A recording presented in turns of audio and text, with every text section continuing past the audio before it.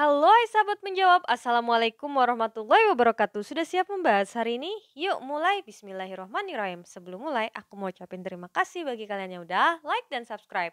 Oke, kita buka buku bahasa Inggris kelas 8, halaman 16 dulu ya. Udah? Oke. Nah, sekarang kita akan membahas mengenai antonyms atau lawan kata. Nah, di sini sudah ada kosakata terkait lawan kata. Yuk kita baca sama-sama ya. Oke, yang pertama big, big, big.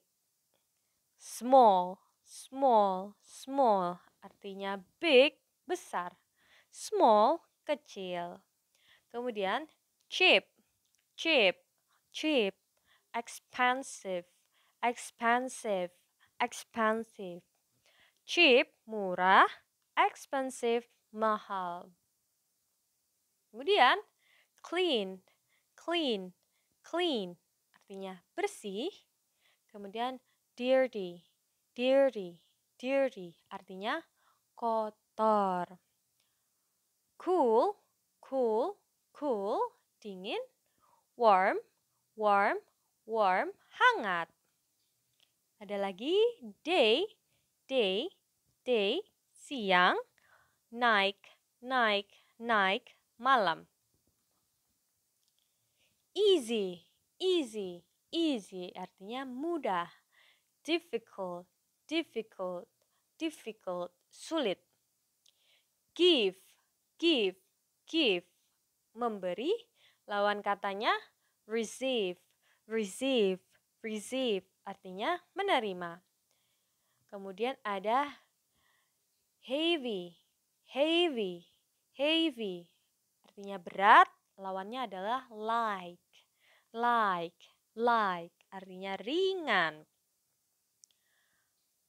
Masa kata lainnya yaitu high, high, high. Artinya tinggi.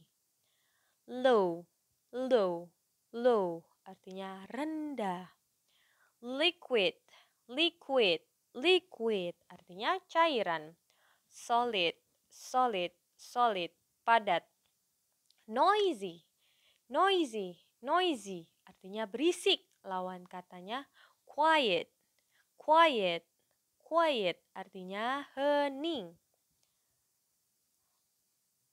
Lanjut ya, panic, panic, panic, artinya panik. Calm, calm, calm, tenang. Remember, remember, remember. Artinya ingat. Lawan katanya adalah forget.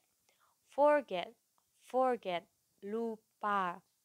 Yang terakhir adalah short, short, short. Artinya pendek.